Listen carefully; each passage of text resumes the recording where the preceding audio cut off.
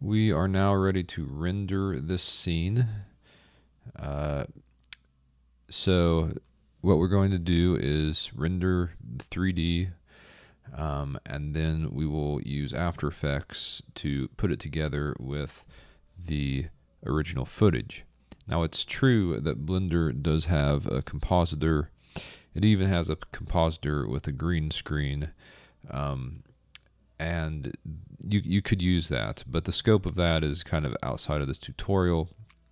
Uh, since uh, I, I, feel like most people watching this tutorial will have uh, access to After Effects, you know, it would it would be you just can't hardly do it in good conscious conscience uh, in in Blender because Blender's compositor is uh, pretty lacking when you have After Effects, and specifically its uh, keyer. Uh, and the, the, the Keylight keyer in After Effects is pretty amazing. So it's just uh, really a lot easier to do it that way. And uh, if you are curious about the compositor in Blender, uh, good for very many things, but not necessarily keying, you can look up those tutorials. All right, so um, first thing then because this is going to be our stand-in for our uh, our woman, we want that out of the scene and out of the render. Um, in fact, let's just uh, check this out. If we render an image right now, uh, you go to your properties panel and click on the little camera, and then we're going to click render image. And it takes a second to render that. While it's doing that, I'm going to um, show that in the dimensions here, what you will probably want to do is reduce your resolution to something like, you know, 50%, 35%, uh, because it's just not going to go fast enough if you have it at full res at 1080p. Now, uh, so there are a couple of issues here.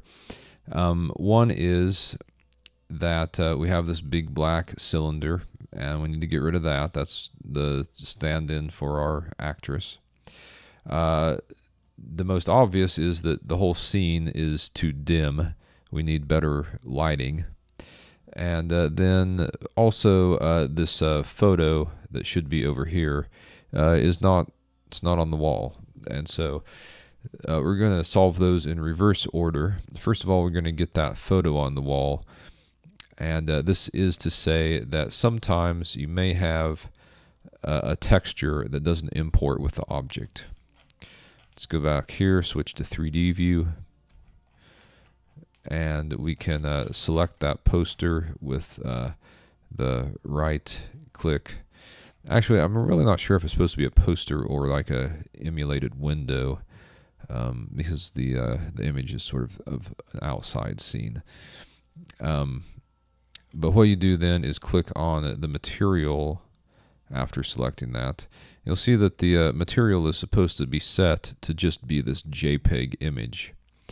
So what we can do is um, figure out why that's not working. And it's actually not in the materials panel specifically, but to the next panel, the textures panel, where we would set that image. So here we can uh, fix this up and there it is under the image panel. If we twirl all this stuff up, it's a little bit easier to see, but there it is in the image section. And um, the source here, if we reload it, um, okay, well, anyway, it says can't load image there. Let's click on that. Um, I'm going to surf over to my desktop, click in there, and then uh, the bank textures and then that's the one I'm looking for there. So I'll hit accept and uh, that's going to put it into the scene. Um, next, the lighting. Okay, so there's going to be you could, you could look up an entire tutorial on lighting um, in our inspector outline. You can see we have most of these things are uh, meshes that uh, make up the three-dimensional objects, but we also have lights and in the scene, the, the lights are these little globes, like that one there, that one there. So those little balls of light are those, those lamps. Okay, so one thing you can do is come to your properties panel, click on the lamp properties, and um, you can change the style of, of lamp from area to spot to point to uh, Hemi. Uh, you can change the color of the lamp. Uh, for example, uh, you know, just for fun, let's uh, take this lamp here and set that to a uh, pretty hard pink. And we'll just see if we get some of the these these are all pretty low energy right now 0.03 I'll increase that to 0.1 something. And so you can adjust the lighting using all the lamps that are in the scene. We imported those from the uh, bank.blend file remember. Okay so um, there's that and then most importantly if we click on the world in the properties inspector um, we can see that uh, it's using three different types of lighting. Well, it's not using indirect lighting, um, and it should be probably. Uh, environmental lighting is set really low. So if we set this up to probably probably even 0.9 would be uh, acceptable. Uh, we can do a test at that. Let's just set it to 1 just to be even. And uh, then the last thing was getting the cylinder out of the scene. So to uh, hide something from the scene, here it is in the uh, outliner. We, we could click on that and that hides or shows it in the scene. But to get it to not render, what you have to do is click on this restrict renderability icon. Click there and it disappears from the render. Okay, so I'm going to click on that camera again, click on render image, and let's see if we get some better results this time.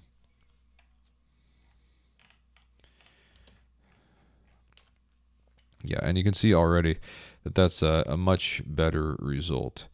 Um, a little bit pixelated because we're at 35% resolution, but uh, it looks fairly usable.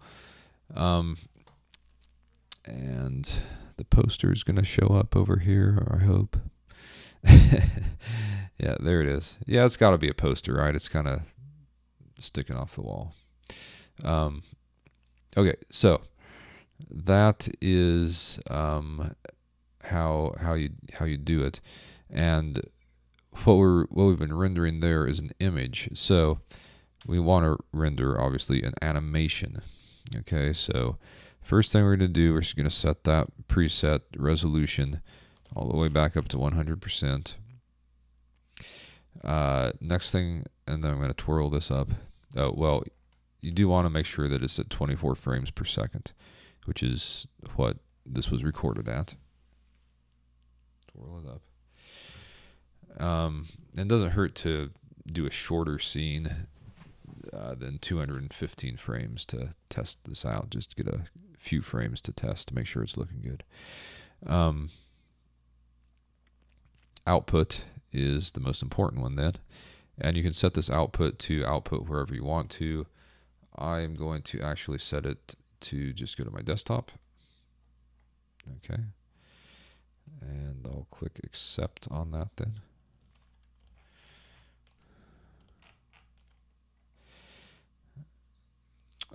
And uh, you can set the compression to whatever quality you'd like.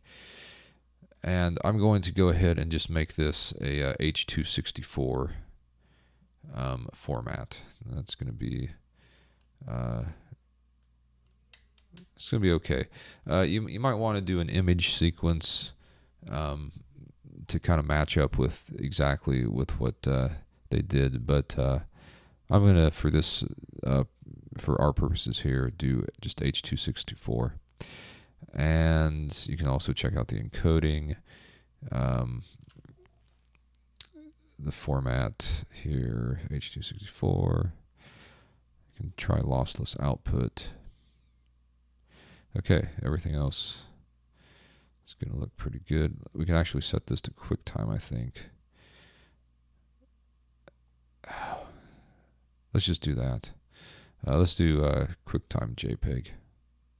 Sorry, I'm trying to figure out what would be the quickest for this tutorial, but then then also, you know, um,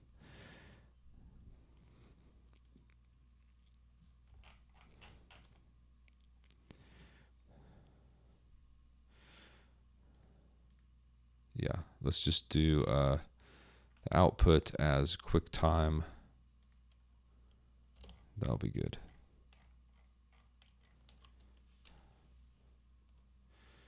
Okay, save that. And now I'm going to hit animation render.